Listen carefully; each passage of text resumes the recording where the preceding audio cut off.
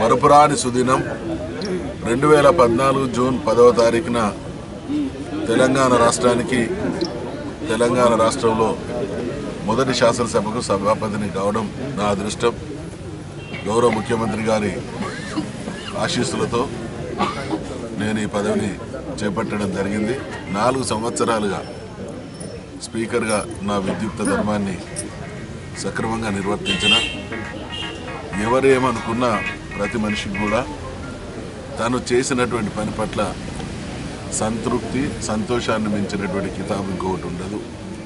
నేను చేసినటువంటి పని పద్ధతులకు ఒక స్పీకర్ హోదాకు గౌరవప్రదంగా గౌరవం వచ్చే విధంగా చేసినా లేదా అనేది నాకు నేను మరి చర్చించుకొని చేస్తున్నటువంటి విధానం.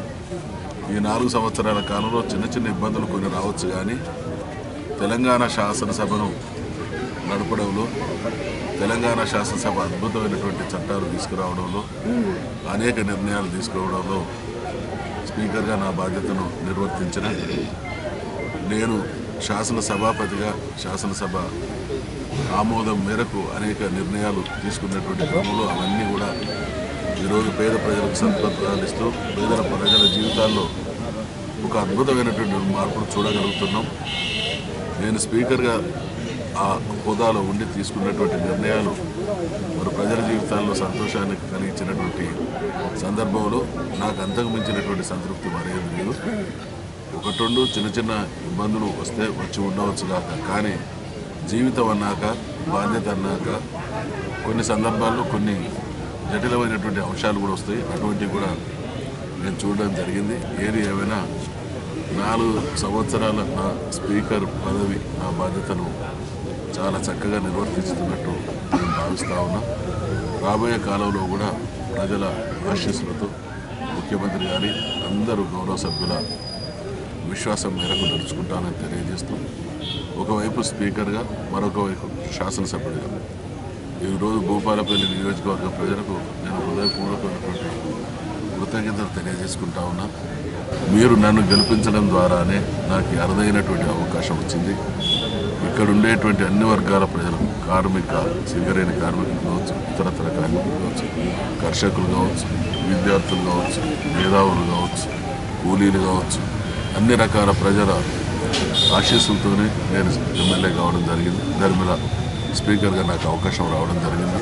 ఈ రెండు బాధ్యతలను ఏకకాలంలో నిర్వర్తించడంలో నేను కృతకృత్యున్నాయని నేను భావిస్తా ఉన్నా. నా వల్ల ఏమన్నా పొరపాట్లు జరిగి ఉంటే తప్పకుండా నేను సవరించుకోవడానికి కూడా సిద్ధం. మనిషి అనేటువంటి వారు సంస్కారం అనేటువంటి జీవి కాబట్టి తెలిసి తెలియక ఏదైనా పొరపాటు జరిగితే అటువంటి వాటిని సంస్కరించుకోవడం అనేది సంస్కారవంతుని లక్షణం. తప్పకుండా నాకు అటువంటి సుగుణం ఉంది. నేను ఈ నాలుగు సంవత్సరాల కాలంలో ఏ విషయంలో కూడా మరి ప్రజలే కేంద్ర బిందువుగా ఒకవైపు శాసనసభ్యులు శాసనసభ ఇంకోవైపు నన్ను గెలిపించినటువంటి ప్రజలు కేంద్ర బిందువుగా పనిచేస్తూ వస్తా ఉన్నారు. భగవంతుడు నాకు ఇచ్చినటువంటి ఈ శక్తి వ్యక్తి ఈ రెండు బాధ్యతలు నిర్వర్తించడానికి తప్ప నా వ్యక్తిగతమైనటువంటి అంశాలకు వాడుకోవాలనేటువంటి విషయాలు తెలియజేసుకుంటూ తప్పకుండా ప్రజల ఆకాంక్షలకు అనుగుణంగా శాసనసభ్యుల ఆకాంక్షలకు అనుగుణంగా ఈ రెండు బాధ్యతలను నిర్వర్తిస్తాననేటువంటి విషయాన్ని మరొకసారి మనవి చేసుకుంటూ sir. Please subscribe New Waves. ఇలాంటి మరిన్ని మంచి వీడియోలు కావాలని కోరుకుంటున్నారా? అయితే పక్కనే ఉన్న గంట సింబల్ను క్లిక్ చేయండి. అలాగే సబ్స్క్రైబ్ చేయండి.